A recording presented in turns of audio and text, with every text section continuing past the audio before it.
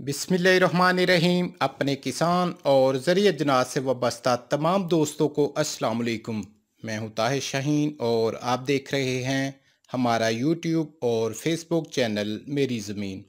उम्मीद करता हूँ आप सब खैरियत से होंगे। दोस्तों, पंजाब गला मंडी के इजनास के ताज़ा तरीन रेट्स के साथ आपकी खिदमत पे हाजिर हूँ। सबसे पहले बात करेंगे मक्की के हवाले से। तो मार्केट में गुजशत रोज़ से तकरीबन दो सौ रुपये से लेकर तीन सौ रुपये चालीस किलोग्राम की तेज़ी देखी गई है। आज भी मार्केट में तेज़ी का रुझान रहा है।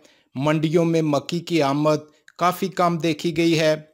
और मैं फिर से वही बात करूँगा अपने तमाम किसान भाइयों से कि मक्की को अभी भी रोके रखें, कम से कम मक्की को फ़रोहत करें जिस हद तक आपको ज़रूरत है। बाकी मक्की को आप स्टोर कर लें ईद के बाद इन मार्केट पे काफ़ी बेहतरी आएगी और आप इन ये मक्की जो है, तीन हज़ार रुपये या तीन हज़ार रुपये से ऊपर इन फ़रोहत करेंगे। स्टाकिया मार्केट में आ चुका है। इन एक्सपोर्ट भी शुरू हो जाएगी और मक्की की मार्केट में ज़बरदस्त तेज़ी आएगी। अब बात करते हैं आज मार्केट में मक्की का रेट क्या रहा? तो पंजाब के मुख्तलिफ़ शहरों में आज मक्की दो हज़ार रुपये से लेकर छब्बीस सौ तीस रुपये चालीस किलोग्राम तक फ़रोहत हुई। और अब बात करते हैं गंदम के हवाले से। तो गंदम मार्केट में भी तेज़ी का सिलसिला जारी है। पंजाब हुकूमत की जानब से एक गंदम के हवाले से अहम खबर आई है, जो आपके साथ शेयर करते हैं। महकमा खुराक का मिल्स को सरकारी गंदम कोटा ख़त्म करने का अंतिया। 40 लाख टन गंदम नीलाम होगी। गंदम चार हज़ार सात सौ रुपये फ़ी मान बेच कर महकमा अपने सारे कर्ज उतार सकेगा। मुस्तक अफराद को आटे पर कैश सब्सिडी दी जाएगी। आला हकाम की जानब से ये कहा गया है, हमें सरकारी गंदम खरीदारी से जबरी रोकना और नीलामी की तजवीज़ बहरान की बुनियाद बनेगी। ये कहना है फ्लोर मिल्स एसोसिएशन का, और उनका ये भी कहना है कि इस हवाले से हम अदालत भी जा सकते हैं। अब बात करते हैं आज पंजाब में गंदम के रेट्स के हवाले से। तो पंजाब में आज गंदम सादकाबाद की अगर बात करें तो चार हज़ार चार सौ पचास रुपये से लेकर चार हज़ार पाँच सौ रुपये मान तक फ़रोहत हुई। रहीम यार खान में गंदम चार हज़ार चार सौ रुपये से लेकर चार हज़ार चार सौ अस्सी रुपये मान तक फ़रोहत हुई।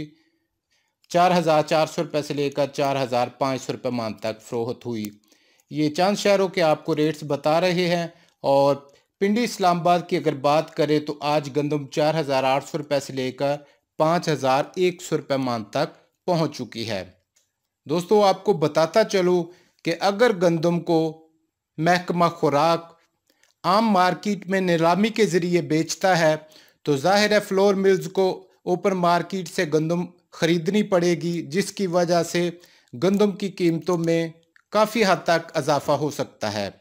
अब बात करते हैं सरसों के हवाले से तो सरसों मार्केट में आज मामूली मंदी देखी गई है। पंजाब के मुख्तलिफ़ शहरों में आज सरसों छः हज़ार पाँच सौ रुपये से लेकर सात हज़ार पाँच सौ रुपये मान तक फ़रोहत हुई। सूरजमुखी के हवाले से बात करें तो पंजाब के मुख्तलिफ़ शहरों में आज पाँच हज़ार आठ सौ रुपये से लेकर छः हज़ार छः सौ रुपये मान तक फ़रोहत हुई। और नई कपास के हवाले से बात करें तो आज पंजाब में नौ हज़ार पाँच सौ रुपये से लेकर ग्यारह हज़ार पाँच सौ रुपये मान तक फ़रोहत हुई। दोस्तों, ये थी आज तक की पंजाब के मुख्तलिफ़ शहरों से इजनास के रेट्स की ताज़ा तरीन सूरत हाल वीडियो को लाइक और शेयर ज़रूर कीजिएगा। कल तक के लिए इजाज़त चाहूँगा। अल्लाह हाफिज़।